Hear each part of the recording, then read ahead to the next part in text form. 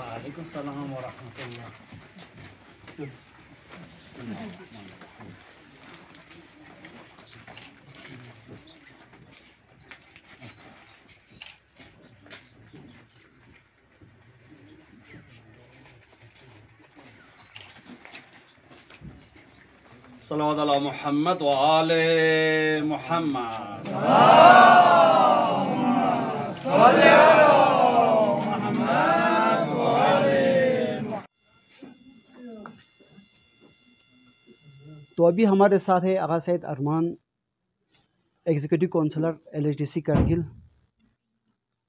तो यहाँ पे आगा साहब आज यहाँ पे एक फ़ंक्शन के सिलसिले में यहाँ पे आया था तो उसने आज यहाँ पे एक फ्यूचर विजन कंप्यूटर सेंटर का यहाँ पे इनोग्रेशन किया। तो आगा साहब, सबसे पहले तो आपको बहुत बहुत मुबारक कि एलएचडीसी में फिर से आप एक बार आप इसी यहाँ पे आया। तो आज यहाँ पे एक कंप्यूटर आपकी टेहजी बोला, मैं फ़र्स्ट टाइम इतना बड़ा विजन में यहाँ पे बोला सर तो आप एज एज ए सी क्या कहना चाहते हैं?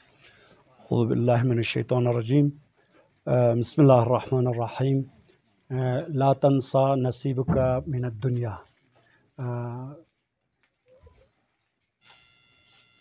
आज ये मौका हमें बहुत खुशी का मकाम था कि टी जी बुलाग में हमारे बरदर अज़ीज़ सैद मोहम्मद मूसवी ने 2018 में उन्होंने ये computer centre, computer training centre का सिलसिला खोला था और इसने, इससे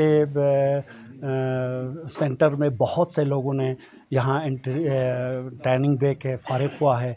बहुत अच्छा खासा यानी टैलेंट्स हमारे बच्चों में पैदा हुआ है और अभी जो है पूरा नेशनल लेवल पर ये सेंटर जो है इंडिया गवर्नमेंट ने इसको बहुत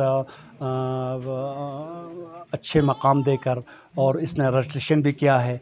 और आगे हमारे पूरे टी जी बुलाक बल्कि पूरा डिस्ट्रिक्ट के लिए ये बहुत एक फुर्सत है कि इन्होंने ये सिलसिला जो है यहाँ जारी किया है, क्योंकि आज हमारा लाइफ जो है डिजिटल लाइफ है। जब तक यानी हमारे पूरे बच्चे जो है, स्कूल के बच्चे जो है, जब तक इनको कंप्यूटर के सिलसिले में इंफॉर्मेशन न हो, तब तक जो है, वो लोग हर लाइन में कमज़ोरी रहेगा।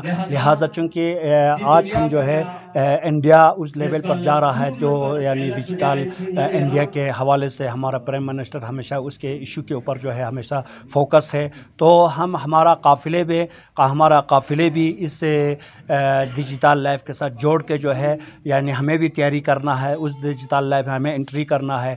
उस एंट्री, उस डिजिटल लाइफ में एंट्री करने के लिए हमारे लिए प्लेटफार्म चाहिए, हमारे लिए फ़िज़ा चाहिए, हमारे लिए तैयारी चाहिए। ये तमाम फ़िज़ा तैयारी जो है इस, यानी कंप्यूटर सेंटर में इन यानी तहक़ पैदा होगा। व इन हमारे बच्चे आगे जो है अच्छा खासा टैलेंट्स पैदा